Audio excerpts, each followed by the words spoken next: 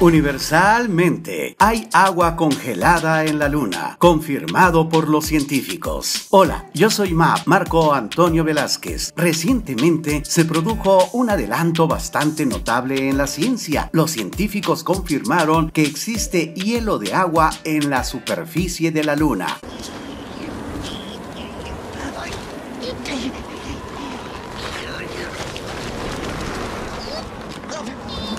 Por primera vez tienen la evidencia definitiva. Este hallazgo es muy importante, ya que la existencia de agua en la Luna aumenta las probabilidades de que una colonia humana en la Luna sea una perspectiva viable y que el agua lunar pueda usarse como recurso para futuras misiones tripuladas. Desde hace algunos años, los científicos supusieron que había hielo de agua debajo de la superficie de nuestro satélite e incluso sospechaban que en la superficie podría existir hielo, pero esta es la primera vez que los científicos pueden decir con absoluta certeza que efectivamente hay agua en forma de hielo. Esto gracias a un dispositivo llamado Mapa de Mineralogía Lunar, el cual detectó las propiedades de las moléculas de hielo lunar. Los depósitos de hielo se encuentran en los polos norte y sur de nuestro satélite y están distribuidos de manera fragmentada en el fondo de los cráteres que están permanentemente en la sombra, aunque el hielo es más abundante en el polo sur y está más disperso en el norte. Algo notable es que las temperaturas en la luna pueden alcanzar los 100 grados centígrados durante el día. Ante tal circunstancia, no parecen ser las mejores condiciones como para que el hielo pueda conservarse en la superficie. Lo curioso es que debido a que la luna está inclinada sobre su eje en aproximadamente